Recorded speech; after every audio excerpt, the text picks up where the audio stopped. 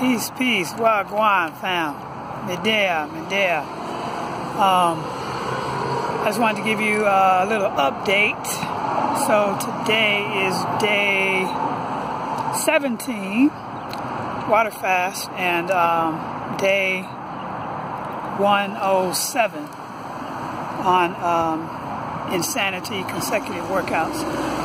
So usually on Tuesdays and Thursdays, I will do three insanity workouts. I'll do a cardio, I'll do an upper weight training, and I, then I do cardio abs or insane abs. Today, my body was like, no, queen, no, no, I'm not going to be able to do it. I'm trying to squat down here. Uh, my body was like, no, I'm not going to be able to do it. So I had to listen to my body, you know, and I had to um, respect my body and I had to back down. So I only did two of the workouts.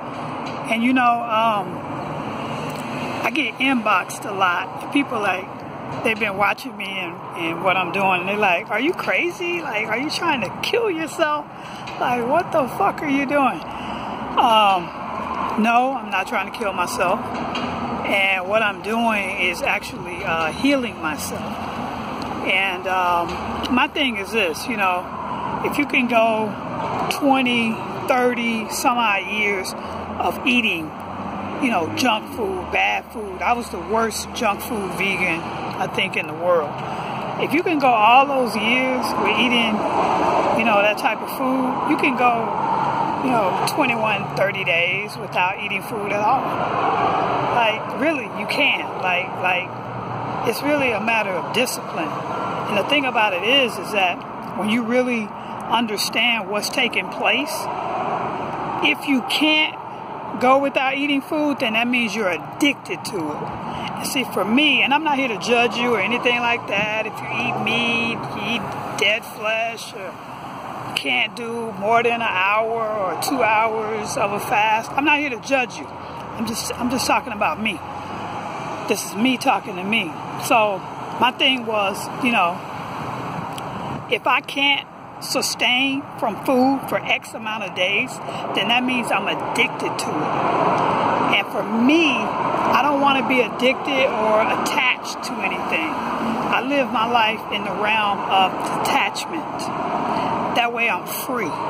I'm free. I'm not attached to food. I'm not attached to people. I'm not attached to experiences. I'm not attached to people's emotions. I'm not attached to any of that. So that makes me free. And I love that. I love being free, you know? I just love being free. So, um, so yeah, I don't want to make this like a long sermon or anything, even though I do like to preach and teach. But I uh, just wanted to give you a quick update. Uh, I'm going to, uh, so my point, my point is listen to your body, respect your body, respect your temple, respect your temple, right? It means during a fast, not during a fast, exercise regimen, whatever. Respect your temple. So I, I, I, had to, I had to respect Mama Queen. Mama Queen said, not today.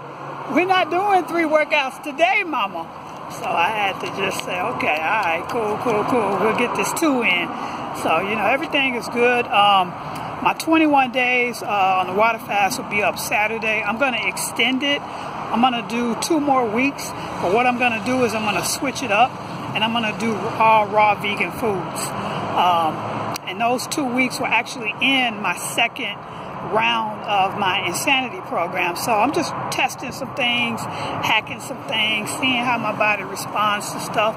And that's really what it's all about. Everybody's body is different. Um, you can't judge yourself against another person. All you can do is test things on your body and your endurance and your stamina and your heart and your willpower.